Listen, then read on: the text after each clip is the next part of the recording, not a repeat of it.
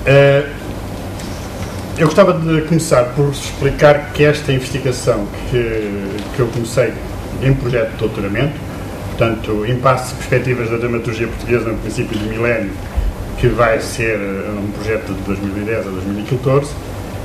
e que é, como referiu,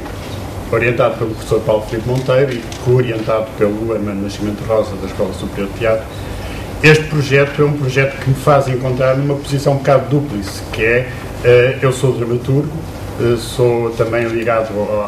desde a década de 80 que estou ligado ao teatro e, portanto, quando eu comecei a fazer, e, e, além disso, esta investigação é uma investigação que começou antes, numa, num projeto de mestrado que não, não concluído, que era sobre os impasses e as perspectivas da dramaturgia portuguesa nos anos 90. E eu gostaria de situar isso para se compreender que quando eu comecei esta investigação, a minha primeira questão era tentar perceber, enquanto dramaturgo, o que é que se passava à minha volta, porque é que era tão difícil uh, enquadrar a prática da escrita teatral. E logo no início uh, houve um texto da Eugénia Vasques que estava inserido dentro de um,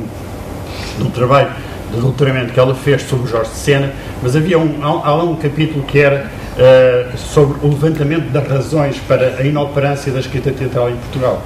Então ela veio, desde o século XVIII, vem descascando as várias teses, uh, muitas vezes teses em contramão, feitas em sussurros, coisas muito pouco uh, explicadas, mas que vão criando um corpus que, que, faz com que quem escreve para teatro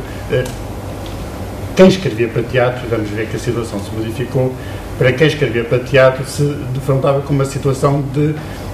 inexistência. Uh, inexistência artística, o, o, dramaturgo inexistia no processo uh, uh, teatral e, e, era essa, foi, foi, esse foi o meu pontapé de saída para tentar fazer uma investigação sobre os anos 90. Quando eu fui fazer a investigação sobre os anos 90, descobri algumas coisas curiosas.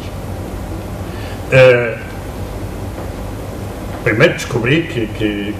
com, a ajuda de Eugénia Vasques que havia de facto uh, um conjunto de, de, condições que eram uh, muito pouco fundamentadas, mas que eram muito partilhadas. Era um, um, um era um conjunto de lugar, lugares comuns, que todos nós reconheceremos. Não há escrita teatral em Portugal, o que se escreve em teatro é mau. Havia, eh, inclusive, uh, situações curiosas, como uh, encenadores que hoje promovem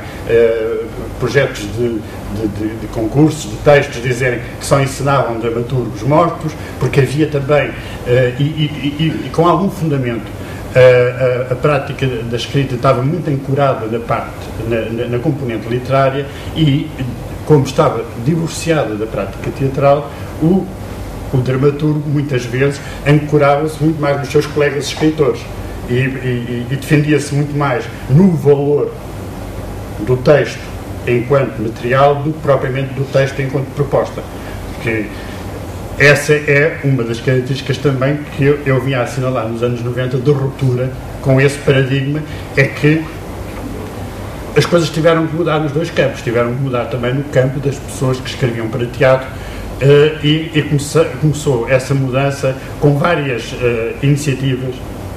muito desconcentradas. Uh, e, e, eu gostava de chamar a atenção para isto, porque uma das primeiras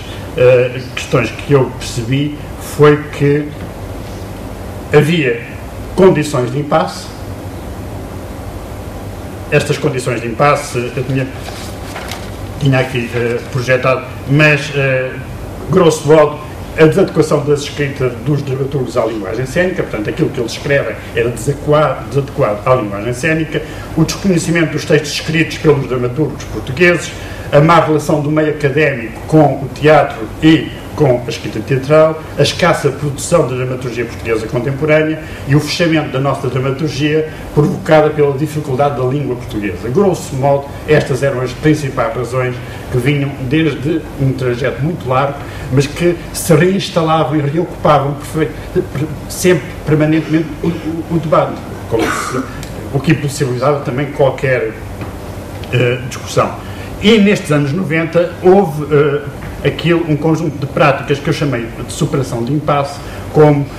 a criação de ateliês de escrita, a inclusão de dramaturgos nas companhias, por exemplo, a Gulbenkian foi precursora nesse aspecto, porque criou mesmo um incentivo para a, a, a, que as companhias adotassem um dramaturgo, um dramaturgo residente. Uh, creio que o primeiro terá sido o Abel Neves, mas depois também uh, seguiram-se outros.